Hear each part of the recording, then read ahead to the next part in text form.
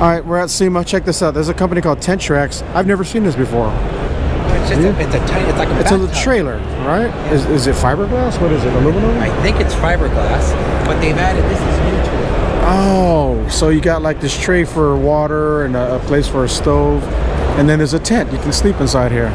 Wow, that's cool. guys. Hi.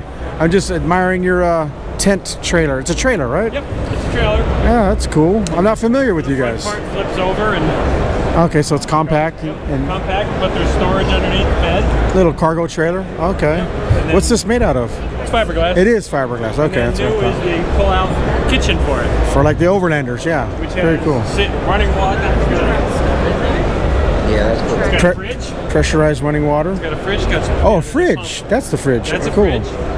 Sink, and then, it all pushes back in there, and it, the, the, Right the inside kitchen there. actually could mount on any trailer. Oh, the. I So see. it's not, Yeah. It's not just for this trailer; it's for any trailer. Yeah, yeah. Homemade trailer too, whatever. Cool.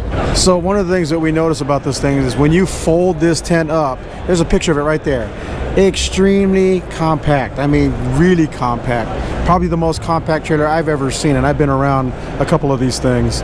And it's lightweight too. How much does it weigh? 600 600 pounds because it's fiberglass. So if you're one of the guys that are looking for a lightweight, compact cargo trailer with a tent on it and everything else, all this stuff too, check these guys out. That's pretty cool. The kitchen is additional and we're pretty excited about Yeah, it's like three grand, right? Yeah. got a refrigerator here. It's all included.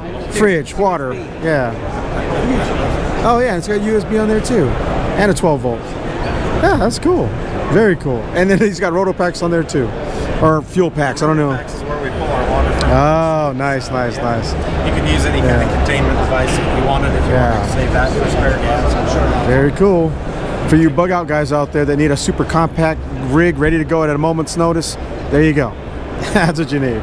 Or the earthquake guys in California. The fire and earthquake guys. This you need this in your garage ready to go. So how much is this whole package here I'm looking at if I were to buy it? Well, Guys are probably wondering how much this is. the off-road version, which is the tent and the large large tires, heavy Yeah. duty, starts at about seven. Seven grand for everything you see here. The kitchen is another three.